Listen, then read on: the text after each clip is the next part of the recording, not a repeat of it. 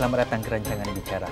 Siapa dia genius yang bernama Jackie Ying ini ya? Oh, I don't think I'm a genius. Doing well academically is different from being able to do research well in the lab. We have too much a civil service type of mindset. Anda sebenarnya seorang ikon bagi masyarakat Muslim. From young, I was always asking, what's the meaning and what's the purpose of life? People always ask me, is there a conflict between religion and science? I say, no.